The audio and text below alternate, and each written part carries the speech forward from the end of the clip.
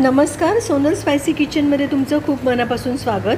आज आपण ढाबा स्टाईल अख्खा मसूर कसा बनवायचा ते बघणार आहोत. अख्खा मसूर बनवण्यासाठी मसूर पाण्याने स्वच्छ धुवून आठ तासासाठी पाण्यामध्ये भिजत ठेवला. इथे मी शंभर ग्रॅम मसूर घेतला आहे हे दोन ते तीन माणसांसाठीचं प्रमाण आहे. आठ तासानंतर मसूर परफेक्ट भिजला आहे आता रेसिपीला सुरुवात करूया.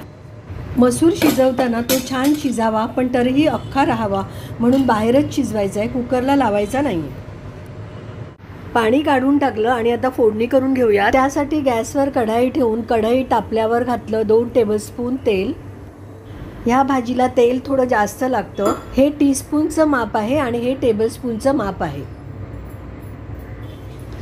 तेल तापल्यावर एक टीस्पून जिरं घातलं. जिरं चटकल्यावर पाव टीस्पून हिंग आणि अर्धा टीस्पून हळद घातली. दोन हिरव्या मिरच्या उभ्या कापून घातल्या.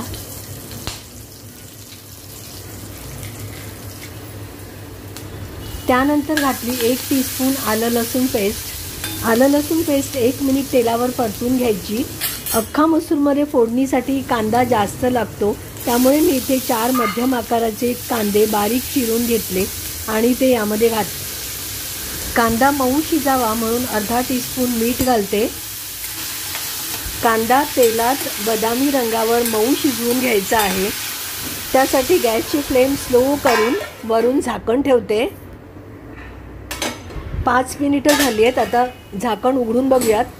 हे पहा झाकण ठेवल्यामुळे कांदा मस्त ब्राऊन रंगावर मऊ शिजला आहे मध्ये एकदा झाकण उघडून मी कांदा ढवळून घेतला होता. आता यामध्ये ड्राय मसाले घालते. एक टीस्पून गरम मसाला आणि एक टीस्पून लाल तिखट घातलं. त्यानंतर एक टेबलस्पून कांदा लसूण मसाला घातला. सर्व मिक्स करून घ्यायचं आणि अगदी एक चिमूट खाण्याचा सोडा घालायचा. खाण्याच्या सोड्यामुळे मसूर मऊ शिजतो आणि सवयी खूप छान येते. मसाले फोडणीमध्ये मुरावेत म्हणून गॅस मंद करून एक मिनिटासाठी झाकण ठेवून देते. एक मिनिट नंतर झाकण उघडून सर्व मिक्स करून घेते. आणि आता यामध्ये घालते भिजवलेला मसूर. एक मिनिटसाठी मसूर फोडणीमध्ये व्यवस्थित परतून घ्यायचा. गॅस स्लोच ठेवायचा आहे. आता वरून झाकण ठेवून झाकणावर पाणी घालायचं आणि पुन्हा दोन मिनिटं शिजू द्यायचं. दोन मिनिटानंतर उघडून बघूयात मसाले मसूरमध्ये छान मिक्स झालेले आहेत. आता यामध्ये घालूयात गरम पाणी.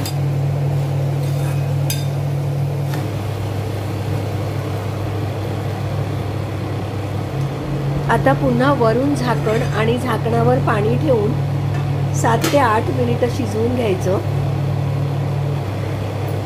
मध्ये एकदा झाकण उघडून गरज वाटल्यास गरम पाणी ॲड करू शकता. साधारण सात ते आठ मिनिटानंतर मसूर शिजली आहे का बघते. मसूर अगदी परफेक्ट शिजली आहे. आता अर्धा चमचा मीठ घालून मिक्स करून घेते. तयार झालेल्या भाजीला वरून तडका करून घेऊयात. तडका देण्यासाठी पाच सहा लसूण पाकळ्या मी अशा प्रकारे ठेचून घेतल्या. आता गॅसवर तडका पॅन किंवा कढई ठेवून कढई तापल्यावर घातलं दोन टेबलस्पून तेल. त्यानंतर एक टीस्पून जिरं घातलं. जिरं चटकल्यावर पाव चमचा हिंग पाव चमचा हळद घातली. त्यानंतर घातला ठेचलेला लसूण. लसूण तेलावर खरपूस रंगावर भाजून घ्यायचं आहे लसूण भाजल्यावर एक टीस्पून तिखट आणि एक टीस्पून कांदा लसूण मसाला घातला. आता ही तयार झालेली फोडणी भाजीत वरून ओतायची आहे. हे पहा भाजीत वरून फोडणी ओतली आणि अगदी हलक्या हाताने ढवळून घ्यायचं. लसूण खरपूस भाजून घातल्यामुळे भाजीला खूप सुंदर चव येते. तडका दिल्यावर फक्त एक वाफ येईपर्यंत भाजी गरम करून घ्यायची. तयार झाली चमचमीत भाजी कोल्हापुरी अख्खा मसूर. व्हिडिओ आवडला तर लाईक करून चॅनलला सबस्क्राईब करा आणि बेल वाजवा पुढील व्हिडिओच्या नोटिफिकेशनसाठी. परत भेटू पुढील व्हिडिओमधून. तोपर्यंत नमस्कार.